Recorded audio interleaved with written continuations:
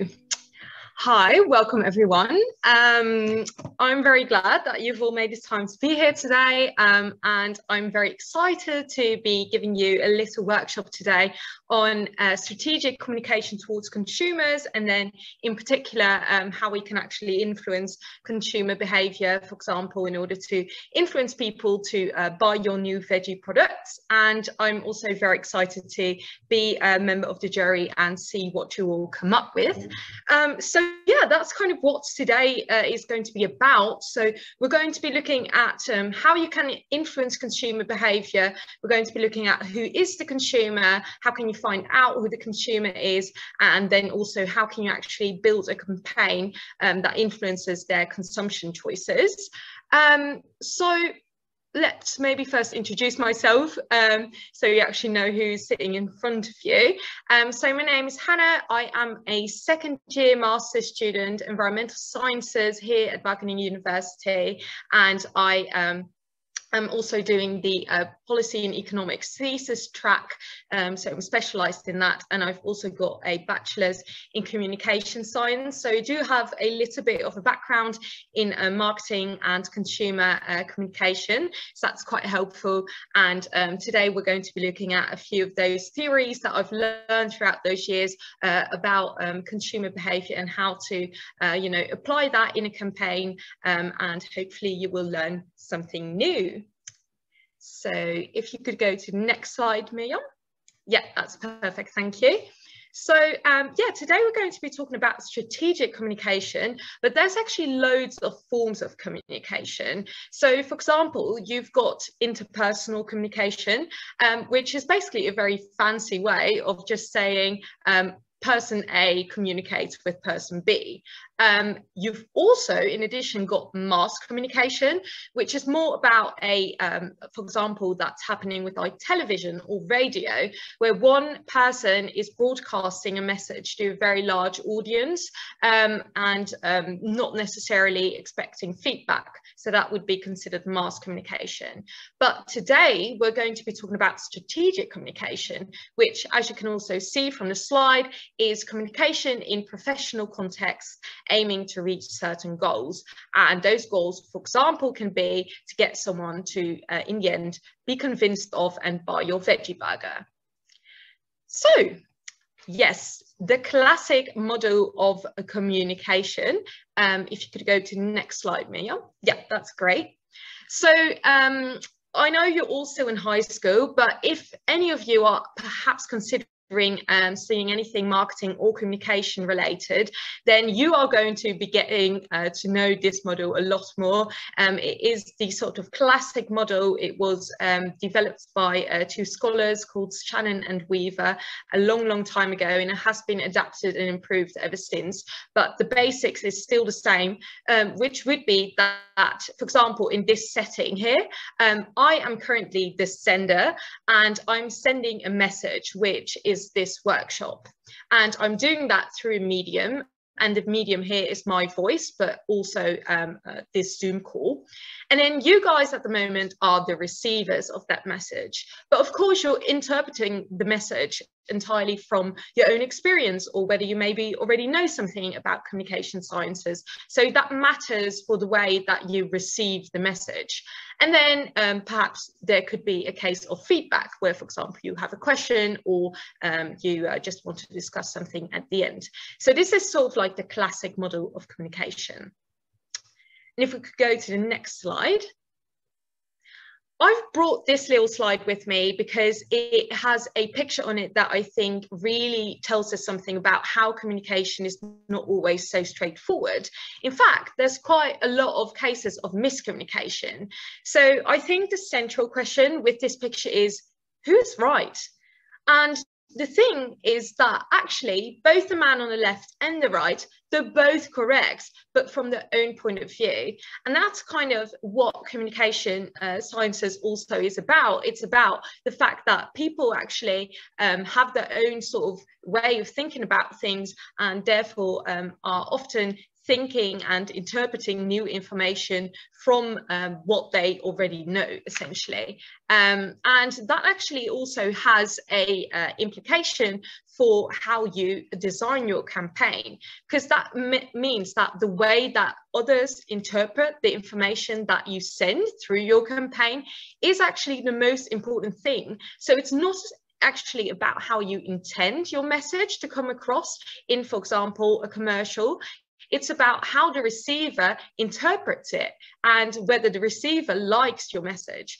So you should kind of think about who's your audience and how will they receive my message and um, is that the way that I intend it to? So if we could go to the next slide. So what exactly is that target audience that we're talking about?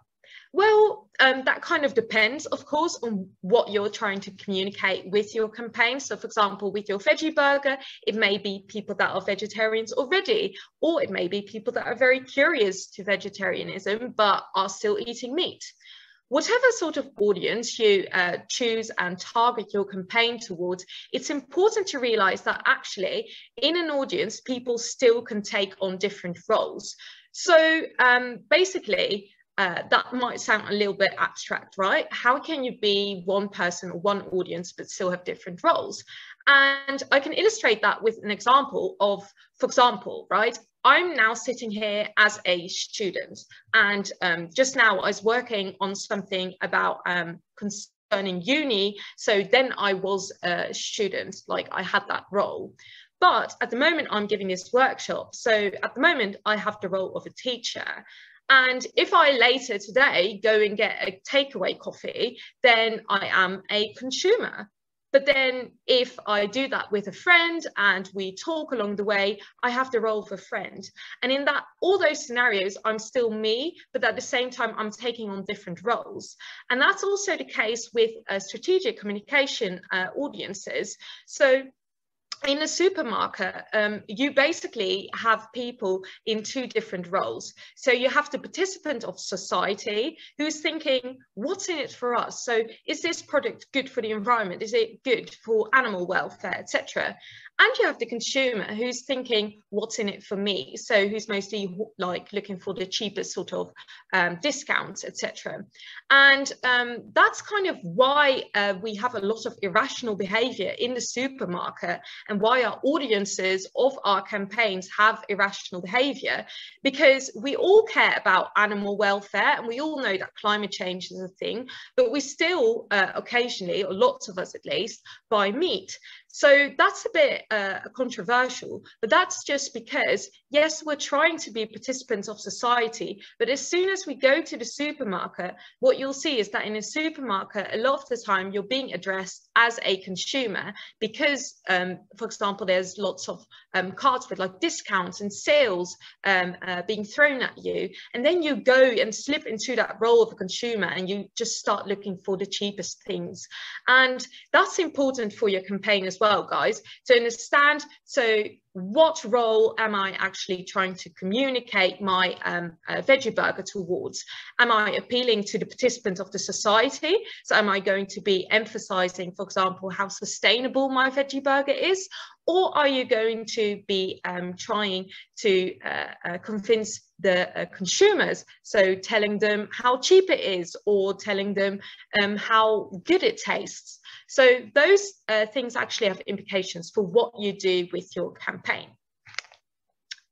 So if we could go to the next slide. Another thing that really complicates, um, you know, marketing your burger is the fact that people don't like change. We actually, as humans, fall into a confirmation trap where we assess new info based on what we already know. So, for example, if you're scrolling on Facebook and you see an article about red meat causing um, diseases, and you are already a vegetarian, then you're more likely to interpret that info as being more truthful and reliable. Whereas if you're someone that eats meat regularly, you might think, well, okay, but is it really that bad? Is this not just an exaggeration? And similarly, in a supermarket, um, the people that are vegetarians um, um, will probably go to the vegetarian section, but then people who uh, are you know eating meat and are in that confirmation trap of eating meat might not even go to the uh, vegetarian section. So those are also things to think about if you uh, uh, start building a, a, campaign for your sustainable burger. And that also makes behavioral change a little bit harder. So if we could go to the next slide. So yeah we've talked about why it's quite hard to convince people, but don't fret, guys, it's not impossible. And I'm going to be uh, telling you a little bit about how you can do it. So um, for that, we've got the theory of planned behavior, which is on the next slide. Yeah, perfect. So the theory of planned behavior is basically a theory that tells us um, why people behave the way they do. And according to this theory, um, we as humans basically act based on three different things, which is attitude, subjective norm, and perceived behavioral control. And that sounds very hard and difficult, but don't worry, it's not. Attitude basically is what do I think about it? So in um, the case of a veggie burger, it's like, do I like the taste of it? Um, or do I think it's cheap, for example? And then the, sorry, did I hear someone? No, I don't think so. Okay, um, and then the subjective norm is what do others think about it? So if you grew up in a vegetarian family, you're more likely to accept um, uh, veggie alternatives. And perceived behavioral control is, can I do it? So, uh, for example, do you know how to prepare a, uh, a meat replacer? So all these three things, um, attitude, so, uh, you know, what do I think about it? What do others think about it? And can I do it? All um, make you uh, perform a certain behavior, such as uh, buying a veggie burger. But it's important to note that that basically leads to an intention. And as we all know, intention doesn't necessarily uh, equalize behavior because we've all been there in the new year where we're trying to start a new workout regime, but then stop after two weeks. The intention is there, but the behavior isn't. And that's why it's really important that in your campaign, you really try and influence the attitude, the subjective norm, and the perceived behavioral control so that the intention gets stronger so you have more chance of people actually buying your burger. So if we could go to the next slide. So how can you actually use that in a campaign? So for example, the subjective norm, um, if we could just go uh, one, enter. Uh, Miriam, could you just press enter real quick? I think a picture will pop up. Yes, perfect. So this would be an example of the subjective norm. So do others want me to do it? Um, here you see the meatless Monday. So if everyone on Mondays isn't eating meat, then if you um, kind of uh, also tell people to do that in a campaign, that can really help. And then if you could press enter again, Miriam.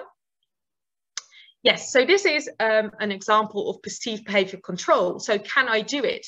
If you put recipes, for example, on the packaging of a veggie burger or a, uh, uh, veggie product, then people know what to do with it and um, they therefore will be more likely to buy it.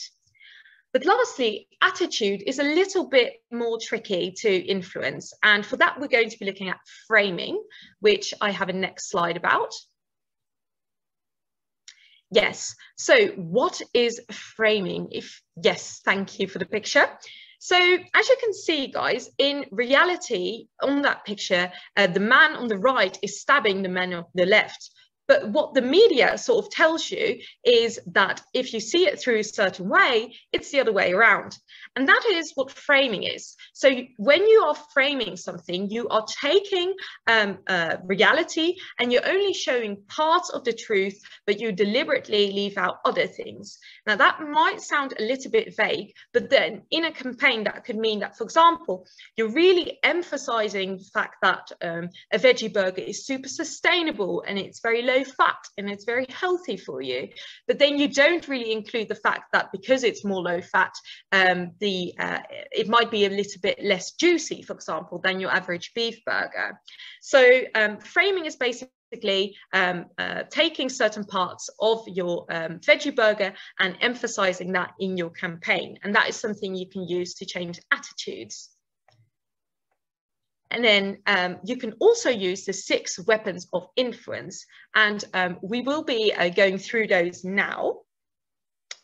So the first weapon of influence, if we could go to the next slide. Brilliant, thank you, is reciprocity. And the idea of reciprocity is basically, if I do something for you, will you do something for me? So a classic example would be that, for example, in a supermarket, you get a little taster. Or for example, in a restaurant, when they bring out the bill, you also get like a little uh, um, cup with sweets with it. And what they are doing, um, they're not just giving out these things just because they want you to have a good meal or to have a nice little sweet. There's an actual idea behind this, and that is reciprocity. So that's the idea that by giving you something extra, you are suddenly feeling obliged to sort of pay those dues by giving back. So, for example, by giving the waiter a tip or by buying uh, the things you just had a taste of in the supermarket. So you could also think about how to uh, incorporate that into a campaign for a veggie burger. Then next up indeed is scarcity as humans, we really love choice and we don't like to be restricted. So um, that's why we're very sort of mesmerized by things that are like rare or unattainable, because we feel like our ability to get those things is being restricted and we don't like that. So in a campaign, what you could do is you could, for example, stress that, oh, there's only two of these burgers left, um, because that makes people want to hurry because they don't want to run out of those burgers or at least run out of the option to get those burgers.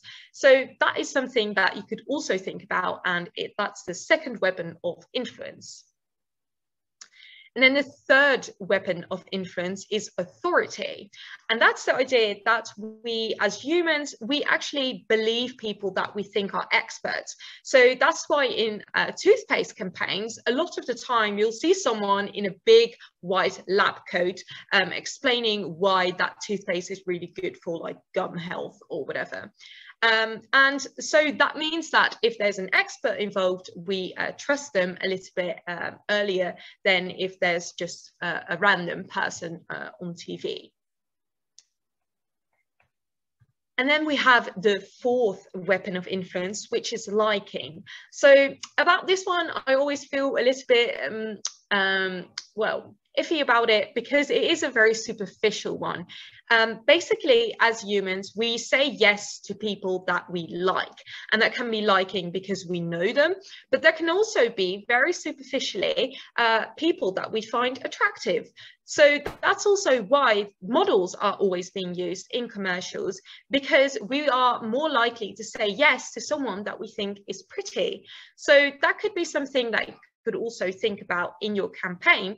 And if you would um, then, for example, combine liking and authority, that would get you uh, the classic example of an influencer. So an attractive person with authority over a certain uh, product to tell you, oh, this product is great. So then again, let's indeed move on to um, the next weapon of influence, which is consensus. So again, another little bit superficial trait of humans is that we are social creatures and that we quite like to follow the crowd. So, um, you know, also think back to that subjective norm. We basically um, are influenced by, by, uh, by what others do. And you can, for example, in your campaign, use that to um, um, by saying, oh, uh, so and so many people have bought it and they all loved it. Because that means that people are going to start thinking to themselves, okay, if so many people have bought that product, there must be something really good about it. So that's how you can kind of use consensus in your campaign for your veggie burger as well. And then we have last but not least, commitment and consistency. So humans really like consistency. If someone says A one, day, one day and then the next day they say B, uh, you're like, okay, what? So what do you mean? But if someone says A today and then A tomorrow and then the A after that, a pattern starts to form. And we are kind of are more likely to take on that pattern as a being the truth. And that's also why um, a lot of companies use logos and slogans they're constantly repeating that image or repeating that sentence to the point where, for example, if I say just do it, most people will immediately think about Nike. And um, that really shows that sort of consistency and that really creates commitment. So it makes you remember the company and it makes you um, uh, take on anything that the company says as truth a little bit sooner. And another way to um, kind of uh, create that commitment would be through samples.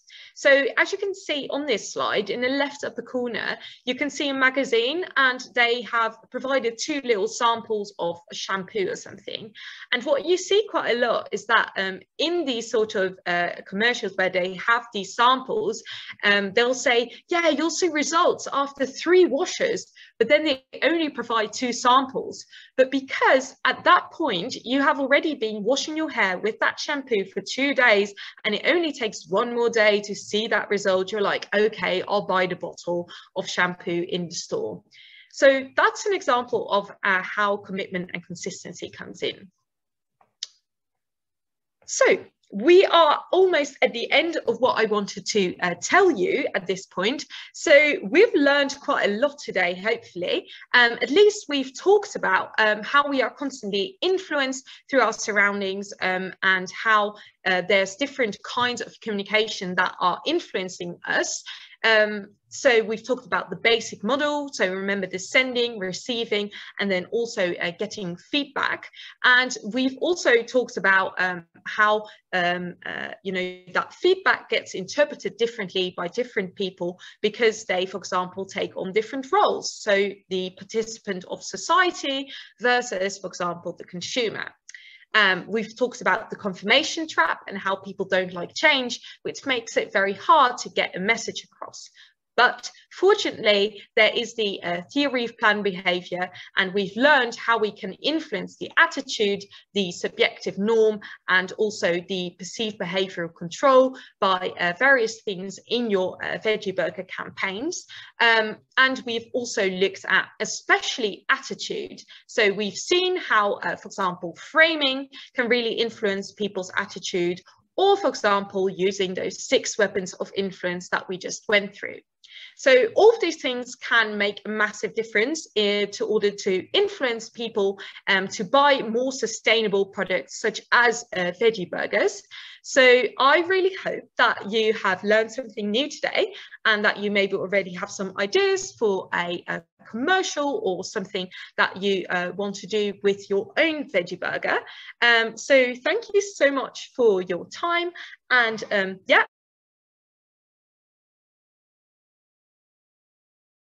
Um, yeah, so uh, I'm going to tell you a bit more um, about um, yeah what is in the uh, meat replacers. Uh, so first a short introduction, then uh, for which consumers uh, are meat replacers meant uh, to be? why do we eat them? some pros and cons of the meat replacers, the nutrient composition, and finally I go a little bit deeper in the structure of the meat replacers. Uh, yeah, can you go to the next slide, please? Okay, so, uh, well, the meat replacers. You have a lot of different uh, options in the supermarket, um, as you probably all know. Um, there are uh, both vegetarian and uh, vegan options. Uh, vegan options are fully plant-based, so there's no milk or egg added to the product. And um, the products are especially made for people um, who uh, don't want to eat meat, um, who are, for example, vegetarian or um, uh, don't want to eat uh, meat at all. Uh, yeah, next slide, please. Um, so, uh, yeah, as I told you, um, meat replacements are not essential to eat. Uh, there are also a lot of other uh, protein alternatives, uh, such as pulses, nuts, uh, or dairy products are also full of protein. Uh, but there are a lot of people who really like the juiciness and the bite of, uh, of meat. And they really like it um, to eat a meat replacement instead of meat. Uh, therefore, it is very important that, that we can optimize the uh, taste and the texture of uh, those meat alternatives. Um, and in this figure, you can also see um, the relationship between the desired similarity to meat and the consumption of meat replacers. Um, so you can see that consumers who really like that texture of meat, they will consume less meat replacement products actually. Yeah, next slide, please. But why is it now uh, so important uh, to consume more re meat replacers? Well, um, first, of course, uh, the meat production is very inefficient. Um, so here in the picture, you can see uh, that you need, uh, for example, 12.4 uh, kilograms of feed and more than 1,000 liters of water to produce one kilogram of beef. Besides the meat production, it leads to pollution, uh, mainly because of the emission of greenhouse gas emissions, um, such as methane, for example. Um, also, um, the price pressure on meat is uh, detrimental to animal welfare. Um, and that's why, for example, also uh, the broiler chicken has arisen. Uh, you can also see it here in the figure. Um, and finally, uh, of course, it is not uh, very good for human health uh, to eat a lot of meat. Um, animals can be infected with uh, viruses and bacteria, for example, um, and it can be transmitted to uh, human people. Uh, an example of this is the Q fever, for example. Um, on top of that, it is also better for the human health to eat less meat because of the protein consumption um, people often eat 50% uh, more uh, protein than necessary. Uh, this is not especially harmful for the human health, but it's also not, not good. Um, can you go to the next slide, please? So in short, uh, here an overview of the pros and cons of uh, meat replacers. Uh, so the pros are that it's more sustainable, of course, uh, better for the animal welfare, uh, better for the human health. Um, and also there are uh, a lot more possibilities and flexibility um, with the production of meat replacers because it is an industrial process. Um, the cons are uh, that the taste and texture is still very different from meat and um, people find it not fibrous enough, uh, sometimes a bit tasteless and dry. And I will tell you a little bit more uh, later why this is the case. Um, and uh, finally, um, meat replacements are more expensive than uh, meat. So you can see that chicken is uh, almost half of the price uh, than a vegetarian, vegetarian chicken. So this will not encourage uh, people to buy it. Um, yeah, next slide, please. Then a little bit more uh, of the texture of meat. Well, uh, meat uh, does not have uh, any carbohydrates. So it consists of uh, fat and proteins uh, with water in between. Um, so it's actually the protein fiber and in between is that water. And this texture really creates that juicy structure because the water is kind of loose around the protein. Um, so that makes it very juicy. Um, next slide, please. But uh, what are carbohydrates and uh, proteins now exactly then? So uh, we go still to a little bit uh, lower level.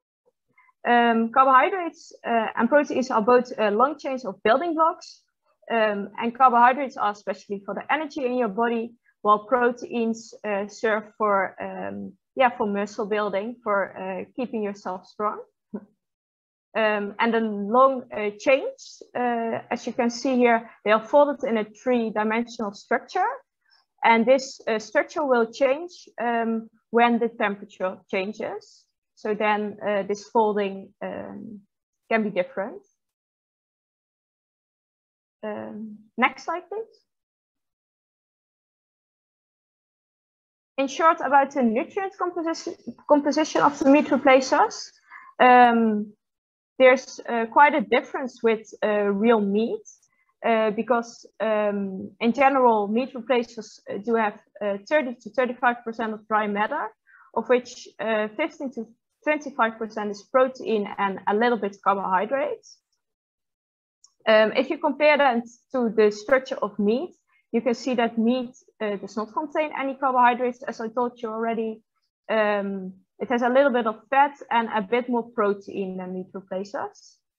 Uh, meat also consists um, some vitamins, which are uh, essential for um, human people.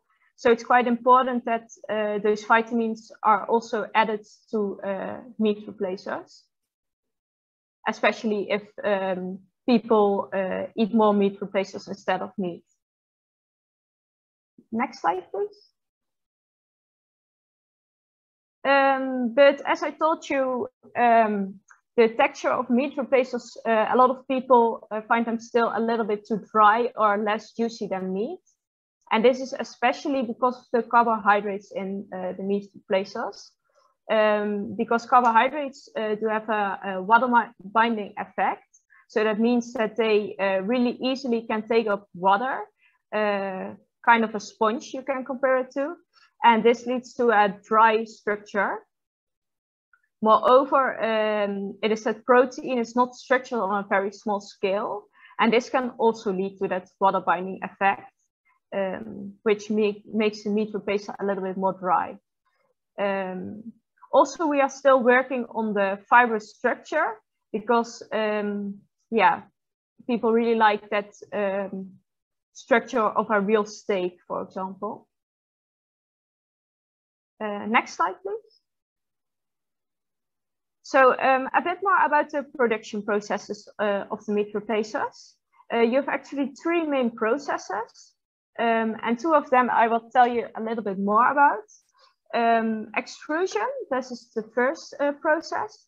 Um, this is actually that you press a material uh, through a shape with the help of heat, and afterwards uh, you let cool it down. This is also the process uh, what we use, for example, to make uh, pasta or crisps. Um, and but also for creating the fibrous uh, protein structure, it's a very useful uh, process. So first, the protein carbohydrate mixture goes through the extruder, and afterwards, water, fat, and flavoring is added because it is not possible to do that on beforehand. So therefore the flavoring is um, right now only on the surface of the product and not, um, yeah, only on the surface of the product. Uh, next slide, please. Um, well, a funny fact is actually that uh, those extruders uh, are especially designed for efficient mixing um, and not for structuring. So uh, as I told, uh, it is used for making, for example, also pasta or crisps. Um, and later on, uh, they found out that it's also very useful uh, to make uh, protein structures. And uh, in the right on the picture, you can see um, so such a structured protein aligned in one direction. So that's how it comes out of out of the extruder actually. Next slide. here you can see that structured protein a little bit better. So um, from position one, you can see that aligned arrangement of the protein. And from position two, you can see a cross-sectional view. Um, so that's, um, yeah, that's kind of the fiber structure what you get um, after the process. Uh, next slide. Well, the other uh, production process, uh, which I will tell you something about, is um, the process uh, with shear cells. It is also used uh, a lot on uh, the Wageningen University um, for research to improve the taste and the texture um, of those meat replacers. Um, and with the use of those shear cells, it is um, really good to um, to introduce differences in the color and the, the structure of the meat replacer. So therefore, it's especially especially useful, for example, to make a vegetarian steak. Um, next slide, please. So uh, what exactly happens then uh, in such a shear cell? Um, Well, uh, the difference in deformation in shear cell that comes uh, is actually because of uh, three types of flow. Uh, you have elongational flow, rotation, and shear flow. Um, with elongational flow, the fibers uh, going more to a converging channel, and afterwards you get that aligned uh, protein structure. Um, well, with shear flow, um, that's more what you see in the bottom on the right. Um, so uh, on the left, uh, you can see such a shear cell, and it consists of uh, two surfaces. And one of those surfaces uh, is going to uh, rotate. Um, and in between is the protein carbohydrate structure. And then uh, due to simple shear flow in this shear cell, you get that aligned protein structure. Um, so you get a real elongated structure and uh, the length of those fibers uh, can be narrowly controlled in such a shear cell. Um, so that's very useful. Uh, next slide, please. But uh, that development of this uh, good firm structure, um, that's only possible when you use um, two proteins uh, which are not um, mixable with each other. Um, often a mixture of um, soy protein and gluten protein is used. Um, and when you use those proteins, uh, you get phase separation afterwards. Um, so it's that uh, droplets of the one protein um, are in the other protein. That's called also an emulsion. Maybe you know about this. Um, afterwards, the deformation is applied, as I told in the previous slide. And in the end, you get then the fibrous structure. And that's what you see also um, in the bottom uh, in the figure.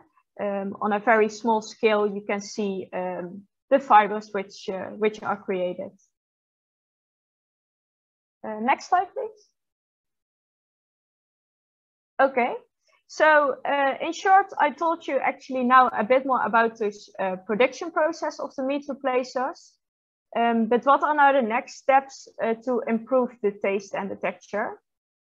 Well, for improvement of the taste, it's especially important that uh, the flavoring comes also inside um, the product because now it's uh, added after the processes. So then it's only on the surface of the product. And uh, we would like to have the flavoring also inside, but this is still uh, quite a challenge. Also in combination with, um, with the salt um, salt content of the um, of the product. Furthermore, uh, it's uh, important that we can um, produce it on a bigger scale because uh, then of course it will also be a much cheaper process and this can also lead to a much more uh, sustainable food production in the future. And finally, what is very important is the nutritional value um, of the meat replacers. I also told a little bit in the beginning of, um, of my presentation about this, but uh, especially important for human people is that uh, meat replacers contain enough essential amino acids. Amino acids are the building blocks of the proteins. Um, and this is um, very useful that we get uh, enough of this, uh, um, of those essential amino acids. Um, moreover, it's important uh, that there are enough micronutrients uh, such as vitamins and minerals in uh, the meat replacers. Um, because these are vitamins which are also in real meat. Uh, next slide, please. Well, um, I told you now a bit more about uh, the taste, the texture, uh, the production, pro mo most important production processes uh, of the meat replacers. And uh, hopefully you can uh, use this information uh, for the exercise you are going to do. So a lot of good luck and hopefully you liked this presentation. Thank you for listening.